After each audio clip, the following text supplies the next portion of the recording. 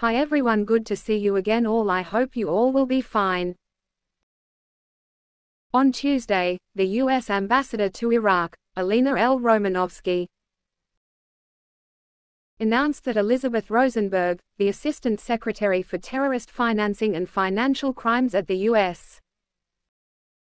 Department of the Treasury, has arrived in Baghdad.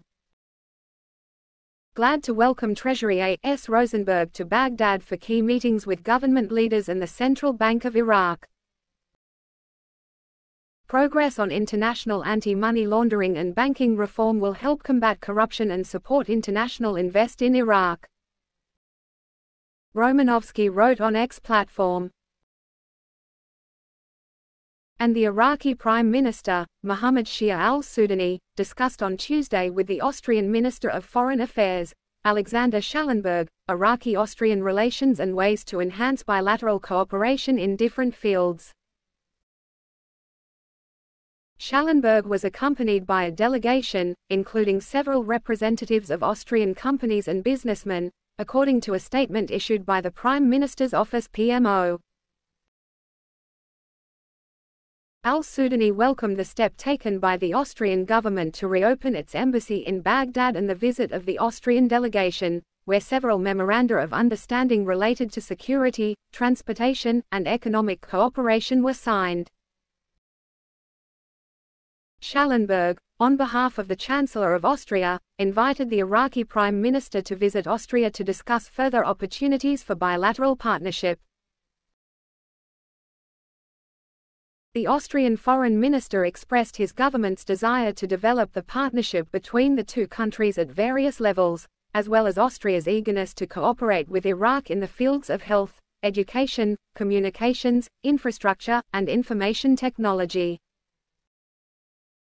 Austrian businessmen reviewed their companies, capabilities and their previous experiences in several economic and technological fields and the Austrian Minister of Foreign Affairs, Alexander Schallenberg, announced on Tuesday that the Austrian embassy in Baghdad has been reopened. And a parliamentary source reported, on Tuesday, that the Council of Representatives will host the governor of Nineveh and several government officials from the governorate to scrutinize project files.